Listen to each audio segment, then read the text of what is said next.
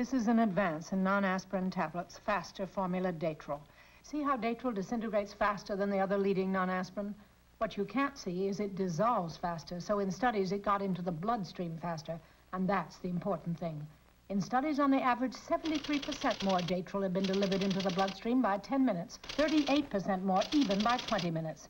See for yourself how effective Datril can be. Try improved Datril, the advanced non-aspirin.